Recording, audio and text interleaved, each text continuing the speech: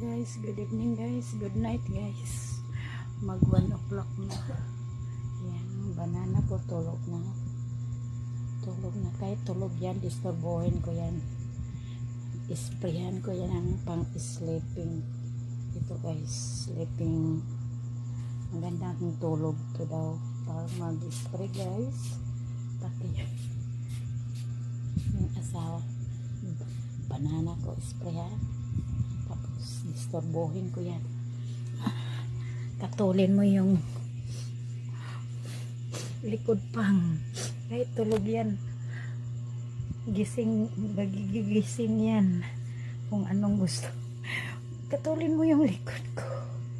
Magkate. Yan guys, kumati ko yan. Yan, ganyan siya guys. Magmahal sa akin guys. Kahit humalik pa yan pag ano kung ano ko kahit masarap pang tulog yan guys. Ano pa pang? Makatiw pa. Yan.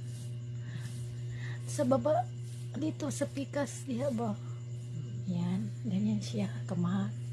Magmahal sa akin guys. Kahit tulog pa yan. Gigising yan kung anong ano ipagawa ko. Yan. May habibi. May hayote